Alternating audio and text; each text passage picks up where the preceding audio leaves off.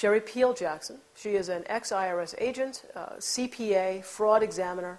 She was working for the IRS. She was on the fast track to success there. She was doing very well, had received numerous awards for all of the work she did. And she realized that there is no law and that the biggest fraud was the IRS.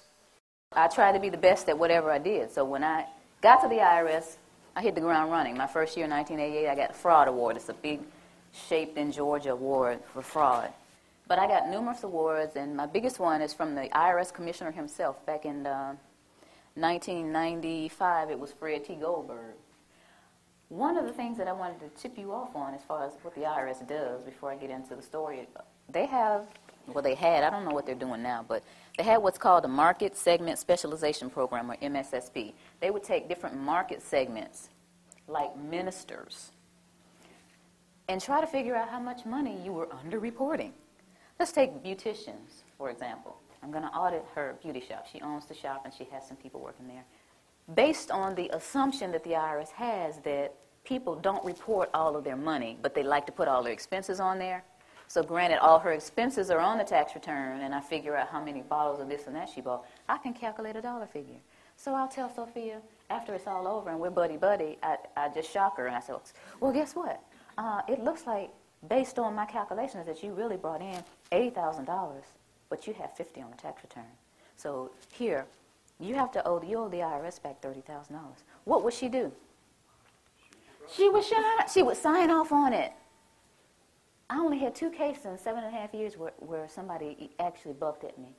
People are so afraid. The, the government and the media have gotten you guys so afraid of the IRS that you don't even buck them. Now, mind you, she might have left some money off. Maybe there was several times where she just didn't report the cash. And maybe that's why. Maybe she didn't. Ha- she has no idea how much she quote unquote underreported. Maybe that was it. But they always acquiesce. They got one. Anybody own a laundromat? They have one that will calculate based on your water bill how many loads were washed at your laundromat. And the point to all of this is this is what they do to people, and people just acquiesce to it. When I quit the IRS in 1995, and after maybe a year of being June Cleaver and realizing that that was just not me, I hung my shingle, which, which in accounting terms or business terms is you, you start your own business. Now, you know that picture of Uncle Sam, the one that says Uncle Sam wants you? I used that same picture and I, and I had it really big and I says, Uncle Sam wants your money. But I'm a former IRS agent. I'm going to show you how to get it back. You know, the people came running. And then these people start coming to me saying, uh, I keep hearing that uh, we're not supposed to pay tax. Or I keep hearing that the tax law is a fraud. And like I said, I was raised differently. I never would look at that person and say, you're a cuckoo. I wouldn't even think it. It was like, okay, you know, in, in this back burner back here, I would think to myself, okay, there's some people out there that actually think that the income tax doesn't apply to us or it's a fraud or it's being misapplied. But I didn't do anything about it because, remember, I'm rolling along with my little businesses and whatnot. So one night in uh, maybe in early June, one of my pastor clients called. It was night. It was about 9 o'clock at night. And she said, you know what? I think it was maybe a Wednesday night after her Wednesday night service. She said, uh, I've got this par- parishioner that just keeps bugging me about this income tax. She's talking about that we're not liable for the income tax, and she wants to talk to you. Can I give this lady your telephone number? And I said, uh, okay. So maybe about 10 minutes later, this lady called me. She said, uh, I have a question for you. Are we supposed to pay income tax or not? And I said, okay do you want the cuffed answer or do you want the real answer? She said, I want the real answer. I said, well, I really don't know. You know, even though I'm a former IRS agent, I haven't done the research, but I hear that there's a credible body of evidence out there that says that we don't owe income tax. I was okay. I mean, I took the information. I was sitting there listening like, okay, okay, okay. And, you know, I said, okay, this lady had a lot of information. I don't know where she got it from. So a few weeks later, she called me again and she said, Miss Jackson, Miss Jackson, remember that information I told you on the phone? It's in the USA Today. Pull it up on the internet. Okay, so I got the USA Today. It was July 7th, 2000. And it says, Dear we the people, most citizens are not required to file an income tax return. The 16th Amendment to the Constitution is a fraud. And if you file, you waive your Fifth Amendment rights. I said, okay, that's the stuff she was saying. Now, this is a lot of reading. But I kept reading because I was very interested, you know, being a CPA and into fraud and all that. I wanted to see what was going on.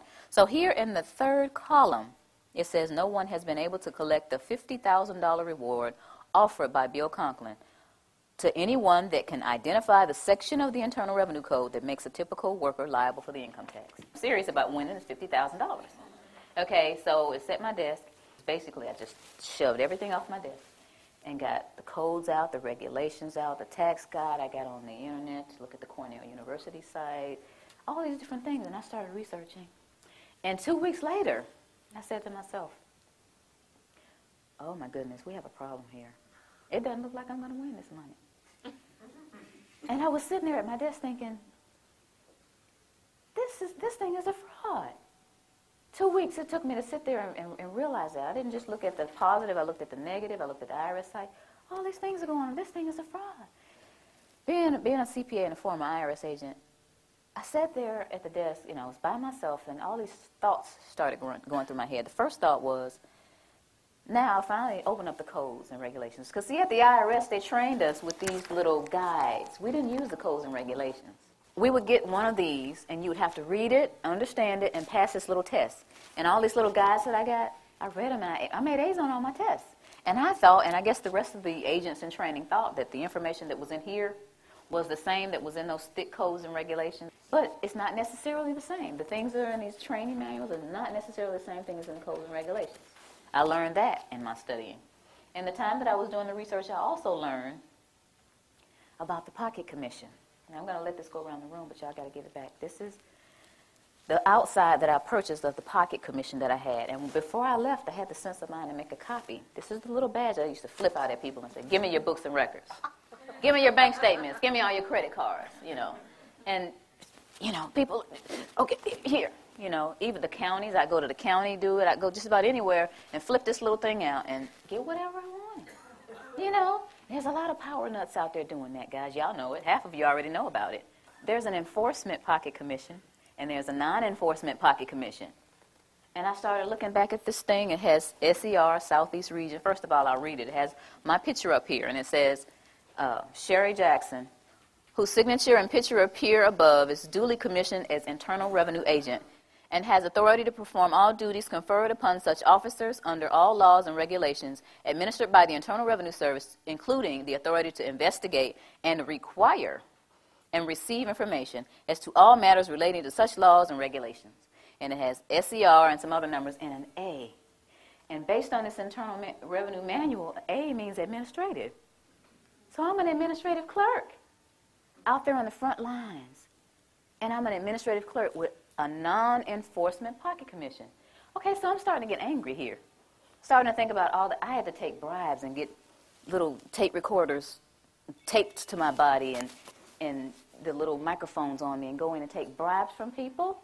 But you know, thinking about stuff like that, you know, what they got me out here. I'm thinking I really have authority, and this is administrative, administrative non-enforcement pocket commission. That was one of the other things I thought about. And then I thought about, and I found out this is this is one of the another issue: a levy versus a notice of levy. This is something that I didn't deal with a lot because I was an agent and I just assessed the tax. I didn't. I wasn't a tax collector. I just assessed it. So this is a notice of levy, and someone said, "Hey, this is a notice of levy. This is what the banks get, or your your job, or whatever." They said, look at the back of it. So I'm looking at the back of this notice of levy, and it says Section 6331, levy and distraint. And then it says B and C. And I'm thinking, it starts off with B? What happened to A? So I looked up A. And here's A. And it says levy may be made upon the accrued salary or wages of any officer, employee, or elected official of the United States, the District of Columbia, or any agency or instrumentality of the United States or the District of Columbia by serving a notice of levy. I'm thinking, but that's not most people. That's not the person that works at AT&T or Bell South or Coca-Cola. That's not most people. Aren't people noticing that the A isn't on here? Aren't they, aren't they curious about it? Why are they doing this? All this is going through my head during this period of time, then I'm realizing that there's, there's a rat in the camp. That's what I call it. But this is the, the straw that broke the camel's back.